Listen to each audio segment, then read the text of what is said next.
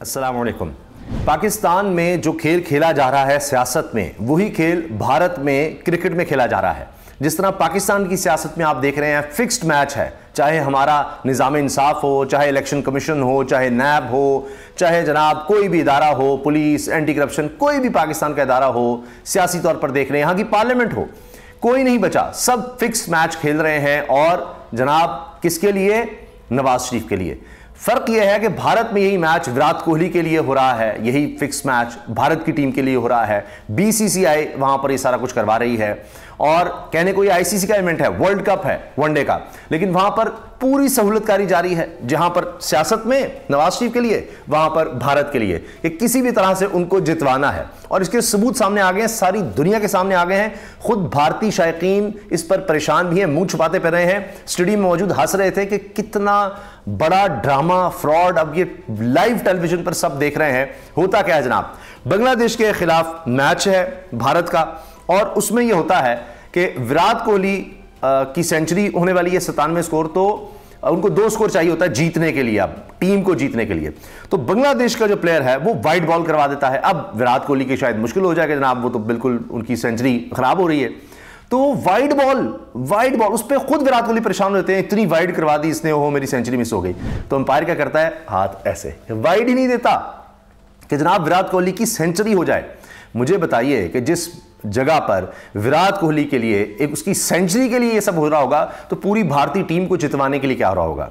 अब ये इसमें कमर्शियलिज्म आ गया है कि भारत की टीम आगे जाएगी, भारत मैच है शायकीन आएँगे टिकट्स बिकेंगे, पैसा होगा स्पॉन्सरशिप होगी, ये सब बात करते हैं, ये मैं अपनी तरफ़ से कोई तजिया नहीं पेश कर रहा, कोई इल्ज़ाम नहीं लगा रहा, ये एक हकीकत है फैक्ट है कि भारत ये कहता है बीसीसीआई कि जी, सारा पैसा तो हमारे से जनरेट करते हैं आईसीसी वाले, ज़्यादातर पैसा हमसे जनरेट होता है, लिहाजा हमारी चलेगी।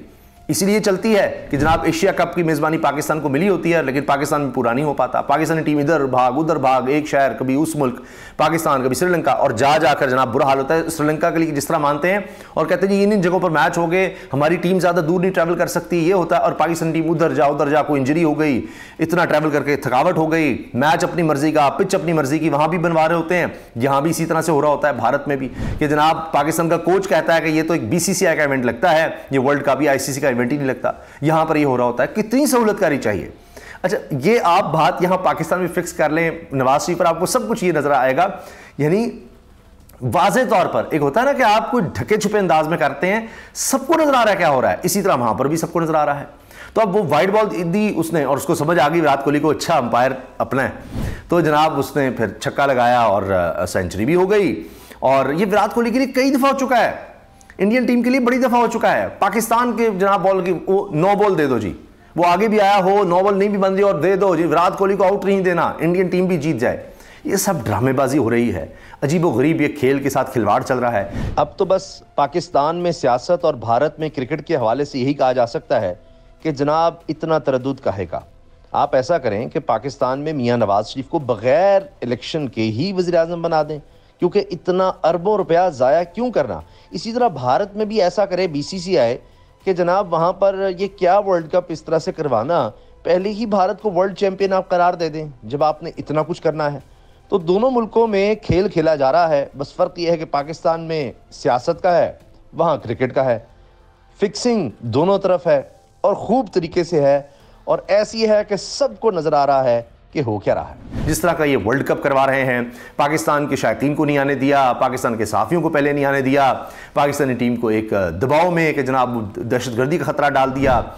फिर अब वो मोहम्मद रिजवान वाला मामला देख लीजिए। अब भी ये हो रहा है कि जनाब वो ऑस्ट्रेलिया के कप्तान से अजीब व गरीब बेहुदा सवाल हो रहा है कि जी वो जी आप क्या कहेंगे, हमास की सपोर्ट कर रहा है जी पाकिस्तानी प्लेयर मोहम्मद रिजवान। हालाँकि उन्होंने फ़लस्तीनी मुसलमान निहत्ते मुसलमानों के लिए उन्होंने सपोर्ट का इजहार किया था मोहम्मद रिजवान ने। तो इस तरह के सवाल, ये सब ऐसे ही ड्रामेबाजी करने के लिए कि जी ये क्या कर दिया अच्छा जी वो नमाज़ क्यों पढ़ता है इसकी कैसे ज़रूरत हो रही है, उस पर मुकदमा कर दो जी आई पर जनाब जाकर कंप्लेंट फ़ाइल कर दो, वो वकील जी सुप्रीम कोर्ट का चला गया है। एक से बढ़कर एक कॉन्ट्रोवर्सी अजीब अजीब ड्रामे हो रहे हैं। अब इसमें हुआ क्या है? भारत और बांग्लादेश के मैच में इंग्लैंड के अंपायर रिचर्ड कैटल बोर्ग अच्छा अब ये जो इंग्लैंड का अंपायर है, इसको आईपीएल में भी आना होगा यकीनन। आईपीएल में आना है, वहाँ पर भी बड़े पैसे बनते हैं। इंडियन प्रीमियर लीग में सबसे महँगी लीग है जी वो। उसमें भी आपने आना है। ये तो प्लेयर्स को भी, जैसे अफ़गानिस्तान के प्लेयर्स नहीं, भारत को खुश कर रहे होते हैं कि जनाब आईपीएल में फिर हमारा चक्कर भी तो लगना है। हर साल वो कमाई नहीं है। वर्ल्ड कप तो पाँच साल बाद होगा ना, देखी जाएगी। उन पाँच साल में हर साल आईपीएल होना है। वो भारतीय टीम को खुश करेंगे तो बुलाएँगे। उतने जनाब इन्हीं के प्लेयर कैप्टन होंगे। हमारी उतनी बोली लग जाएगी, सारा कुछ मिल जाएगा। सब ये ज़्यादा आई में बड़े बड़े स्कैंडल आ चुके हैं। आप देखें, जिस तरह मैच फिक्सिंग और दीगर के। और मैंने मैच का वाला पाकिस्तान का दिया ना कि जी वो नो बॉल दे दी विराट कोहली के जनाब उसके चक्कर में बिल्कुल मैच फंसा हुआ था। इस तरह के कई आपको वाक़ात मिल जाएँगे जो रिपोर्ट हुए हैं, जिस पर लोगों ने बात की है। अच्छा अब ये अंपायर जो है, वो भी ज़ाहिर है इस चक्कर में हो प्रेशर में भी हो, बहुत सी बातें होती हैं। मुझे याद आ रहा है कि गालिबा मैंने किसी प्रोग्राम में देखा, इनके ओपनर होते थे, वरिंदर सहवाग। वरिंदर सहवाग ने बताया कि जनाब मैं वो अंपायर को बड़ा अपने साथ मिला के रखता था थोड़ा सा जिस तरह। उन्होंने एक प्रोग्राम में बताया कि ताकि वो फिर थोड़ा सा हमारे फेवर करते थे। अंदाज़ा लगाएँ आप। ये बात वो प्रोग्राम में कह चुके हैं। तो बाद में आके बहुत कुछ करते हैं। अभी इंग्लैंड के कप्तान हैं और उन्होंने ये बात की अपनी ऑटोबायोग्राफी में अपनी खुद नविस्त में कि जी वो ये भारत जानबूझकर मैच हारा कि पा, पाकिस्तान आगे ना जाए। अब आप ये देखिए कि ये तक है तो बैन स्टोक्स ने गालबन वो किताब लिखी है ना उनके कप्तान इंग्लैंड के। तो वो आ, ये बातें सामने आ जाती हैं। तो ये भी है बस मैच के साथ अब खेलें। तो जनाब बहरहाल हुआ ये कि अंपायर रिचर्ड कैटलबोग ने विराट कोहली की सेंचुरी के लिए यकीन ये खबर छप चुकी है। विराट कोहली की सेंचुरी के लिए यकीनी वाइट बॉल नहीं दी जिसकी वीडियो सोशल मीडिया पर वायरल हो गई। पुणे में खेले गए मैच में बांग्लादेश की जानब से दिया जाने वाला दो सौ रन का हदफ भारत ने बासानी अट्ठाईस दो ओवर्स में तीन विकेटों के नुकसान पर हासिल कर लिया। विराट कोहली ने नाकाबले शिकस्त 103 रन की इनिंग्स खेली।